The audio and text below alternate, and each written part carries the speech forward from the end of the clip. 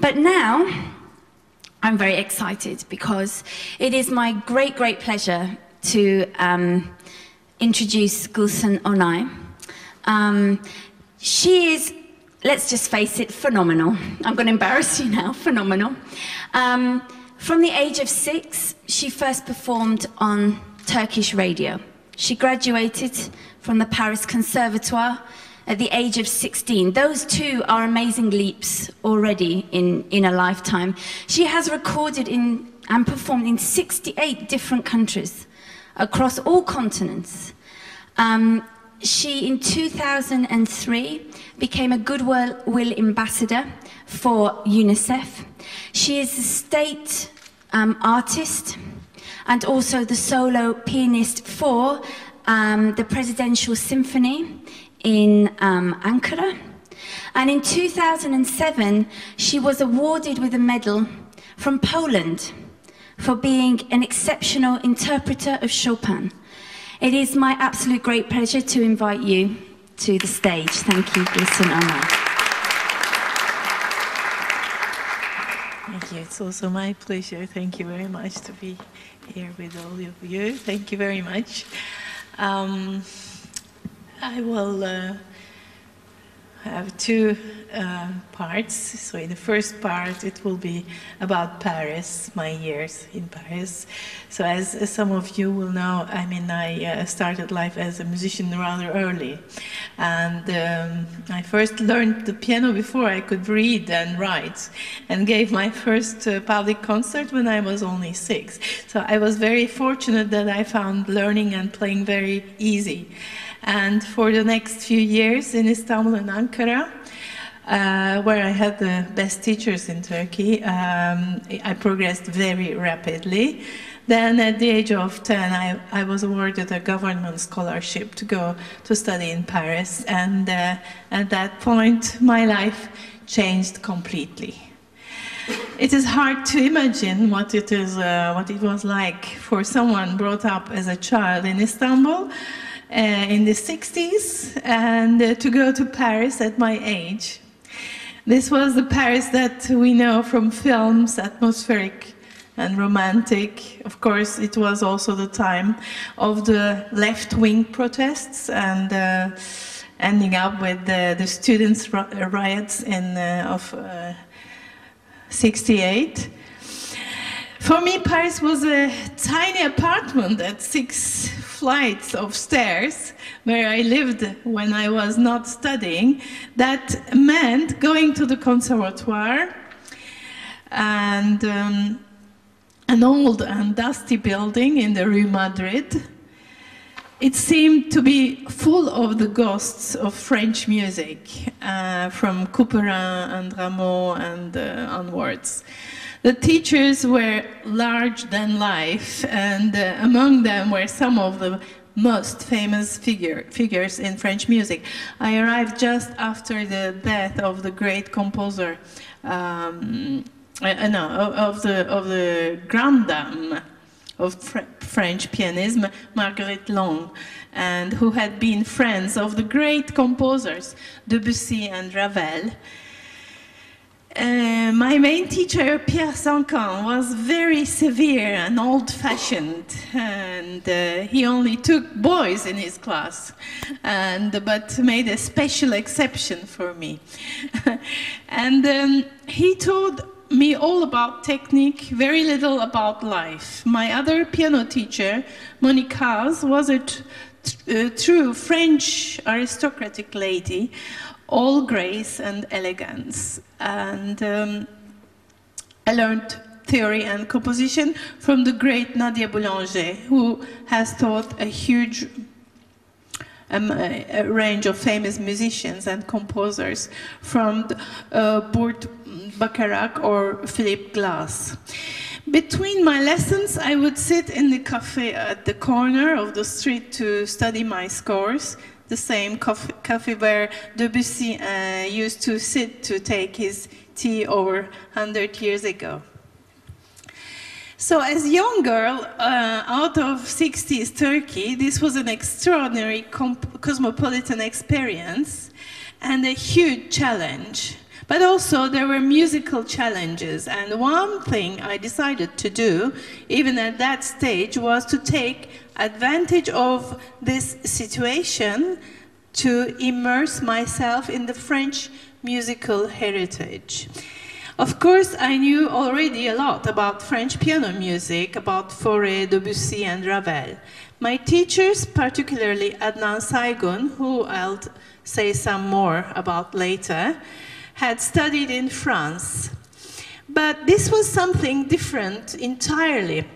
I was breathing the same air these great composers had and uh, seeing the same sights as well as learning new works, I began to understand the uh, ones already uh, knew much uh, better. As my ears and way of thinking musically because more francophone, I wanted to take things to another level. I decided to learn Ravel's Gaspard de la Nuit, which is, which is one of the which is one of the pinnacles of 20th eh, century piano music. Excuse my English pronunciation, it's not very good. Uh, so I'm francophone. Francophone, c'est mieux de parler en français, mais malheureusement. A wild fusion of French Impressionism and 19th century virtuoso romanticism. The other thing is, you know, when it's written, you always read it in French when it's always it's the same writing with a totally different pronunciation. Like virtuose and virtuoso or romantic and romantic and uh, it is often said to be one of the most difficult pieces in the piano repertoire. It was certainly for me in my early teens the most challenging piece I had ever learned, both technically and musically. It has three parts inspired by a poem by the French poet Aloysius Bertrand, and it's too long to play for you now. Uh, the, so I, I'm just going to play the first part. Uh, this is called Ondine, and it's the story of a magical water goddess who tries to uh, infatuate men who pass the, uh, with her special song. Like the legendary Lorelei of the Rhine or the sirens of mythology. It is beautiful work and has a special place for me because I played it a few years later at the famous French piano competition of Marguerite Long, Jacques Thibaud, and for that I received a special Ravel Prize. So Ondine first.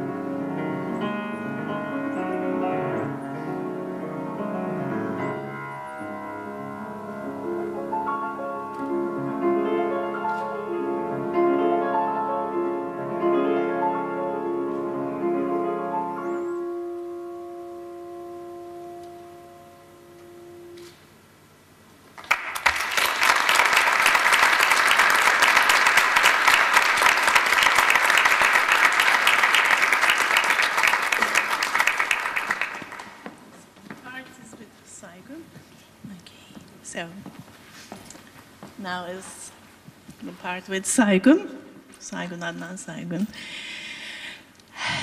So only too soon did I discover that I had graduated from the conservatoire and sadly had to leave Paris and return to Turkey. I also went back to my old teacher, Adnan Saygun. Many of you will know about Saygun. It was he who Atatürk eh, entrusted with the job of developing a tradition of European classical music in Turkey. He also studied in, in Paris back in the 20s. And uh, I took my first lessons from him when I was very young, before I went to France. Uh, but I carried on learning from him for many years to come. He taught my, me uh, many great things about music, performance, and life itself. One thing I can never forget is how he described the relative roles of composer and performer.